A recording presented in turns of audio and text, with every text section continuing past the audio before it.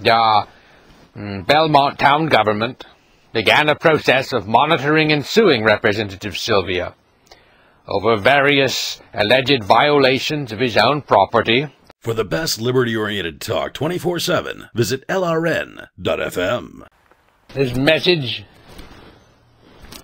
is in part for the, uh, the ears and consciences of those operatives and ministers who call themselves uh, the town of Belmont, New Hampshire. Additionally, the law firm, uh, which has uh, which has taken upon itself to represent them, other New Hampshire political operatives who may have implicated themselves in the acts of invasion uh, detailed below may also find interest in, in this oration. Many of you and your deeds are referenced. Mm. Listen with care. During the year of our Lord, whose golden rule you violate, 2018, the soulless and yet perhaps humanly vindictive machinery of your unproductive edifices descended upon the humble yet apparently harmless property of a government volunteer we know as State Representative Mike Sylvia. Uh, to say that he is a volunteer uh, may be overgenerous, for he does uh, receive from the seat at Concord uh, a salary of $100 uh, per annum. For the uninitiated, New Hampshire's legislature is one of the few on the globe which possess what we might call and easily identify as a, uh, a liberty faction. Though unworthy, as perhaps all are unworthy, of any special treatment under the law. The Representative Sylvia stands out, even within that faction, having won the coveted Legislator of the Year award from the, uh, from the New Hampshire Liberty Alliance. He is also, at last glance, the elected chairman of Belknap County's delegation to the State House. The old lion whose uh, uh, accoutrements I mimic uh, once said, while invoking against the European despotisms of old,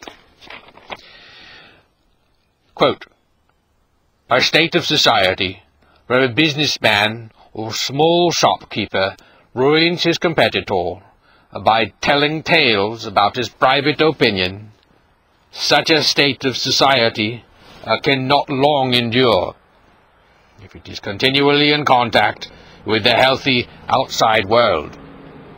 Unquote. Here the target of suppression is partially different, and not nearly so private, but the remedy of sunlight is much the same. Here the authoritarian politician or functionary endeavors to ruin or gridlock their small government competition. They find, as it is woefully easy to find, a minor violation, or perhaps not minor, by the target victim, the like of which is near impossible to avoid committing in an empire with over 200 thousands of law pages. Some say that it is um, it is closer to two millions, uh, but they have lost count.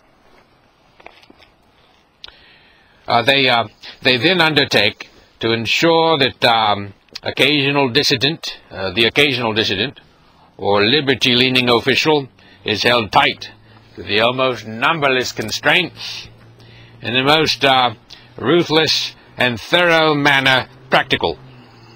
A process against which the establishment figures appear by contrast to live a charmed immunity. by these methods, the centaurs meant uh, to be reduced, or the frugal official punished for their reticence to help impose a rapidly growing expenditure of tax dollars. Uh, perhaps along these lines, or perhaps just by remarkable concurrence, in May of 2018, a letter appeared in the Laconia Daily Sun. It alleged Sylvia had not lived the required number of years in New Hampshire before taking office. A Sheriff's Department investigation has accused Mr. Sylvia of guilt and referred the issue to this state's Attorney General. We are so often told that sheriff's offices do little in New Hampshire. Perhaps uh, this office was unusually motivated. The matter is pending, but the allegations would be difficult to prove. It would have to be shown that Representative Sylvia was not residing in New Hampshire as far back as at least to uh, uh, November of 2010. Uh, this epistle to the Sun, an industrious and urgently worded document, was in a sense commendable for its watchdoggery of government. Would that such watchdoggery were uh, less selectively aimed against the uh, against a friend of the watchdoggerous.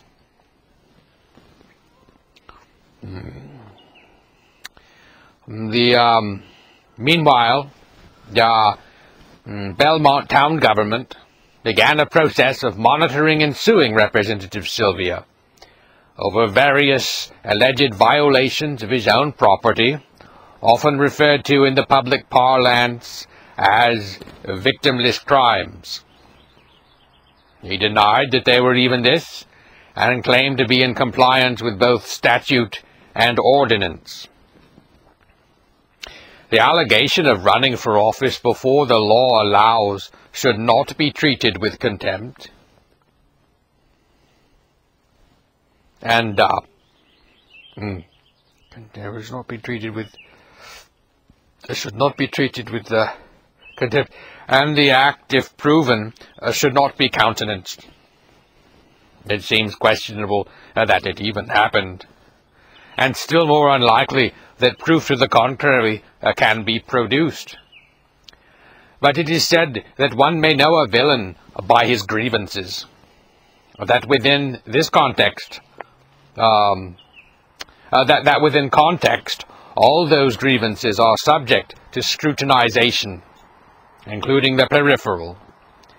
If these do not recount a threat or act of aggression, then most probably they are indeed the grievances of an evildoer. And oh, what wretched and ancillary grievances have been proffered against this, perhaps least of offensive of state officials.